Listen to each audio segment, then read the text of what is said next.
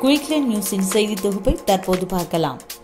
சென்னை மத்திய குற்றப்பிரிவு போலீசார் விசாரித்து வந்த ஐஐடி மாணவி பாத்திமாவின் தற்கொலை வழக்கு தற்போது சிபிஐ விசாரணைக்கு மாற்றப்பட்டுள்ளது. குடியுரிமை சட்டத்தில் மாற்றம் கொண்டு வருவது குறித்து கிறிஸ்துமஸ் முடிந்த பிறகு பேசலாம் என ஜார்க்கண்ட் மாநில தேர்தல் பிரச்சார கூட்டத்தில் மத்திய உள்துறை அமைச்சர் அமித்ஷா சூசகமாக தெரிவித்துள்ளார். நிர்பயா குற்றவாளிகளை தூக்கிலிடும் வாய்ப்பை தனக்கு வழங்குமாறு துப்பாக்கி சுடுதல் வீராங்கனை வர்த்திகா சிங் கோரிக்கை விடுத்துள்ளாா் இருபத்து ஆறு நாடுகளின் செயற்கைக்கோள்களை ஏவியதன் மூலம் இஸ்ரோவிற்கு ஆயிரத்து இருநூற்று நாற்பத்தி ஐந்து கோடி ரூபாய் வருமானம் கிடைத்துள்ளதாக மத்திய அரசு தெரிவித்துள்ளது. அசாம் மாநில தலைநகர் கவுஹாத்தியில் திருத்தப்பட்ட குடியுரிமை சட்டத்தை எதிர்த்து போராடியவர்கள் மீது போலீசார் நடத்திய துப்பாக்கிச் சூட்டில் பலி எண்ணிக்கை நான்காக அதிகரித்தது. ஐம்பது பைசா கடனை திருப்பி செலுத்தவில்லை என்றால் சட்ட ரீதியாக நடவடிக்கை எடுப்போம் என ராஜஸ்தானை சேர்ந்தவருக்கு வங்கி ஒன்று நோட்டீஸ் அனுப்பி அதிர்ச்சி அளித்துள்ளது.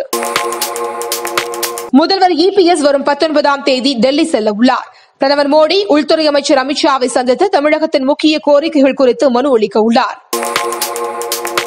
கச்சத்தீவு நெடுந்தீவு இடையில் கடலில் மீன்பிடித்துக் கொண்டிருந்த ராமேஸ்வரம் மீனவர்கள் ஐந்து பேரை இலங்கை கடற்படையினர் விரட்டியடித்தனர் உள்ளாட்சித் தேர்தலை முன்னிட்டு ஐந்து மாவட்டங்களுக்கு தேர்தல் பார்வையாளர்களாக ஐஏஎஸ் அதிகாரிகள் நியமிக்கப்பட்டுள்ளனர்.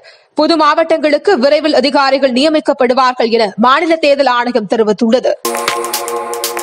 சவார்கர் குறித்து பேசிய ராகுல் சுதந்திர போராட்ட வரலாறு தெரியாமல் பேசுகிறார் என மகாராஷ்டிர முன்னாள் முதலமைச்சர் தேவேந்திர பட்னாவிஸ் விமர்சித்துள்ளார்.